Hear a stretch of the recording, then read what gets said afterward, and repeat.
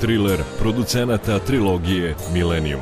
Prati novinarku Aniku Bengtson, koja na Nobelovom banketu postaje svedok spektakularnog ubistva.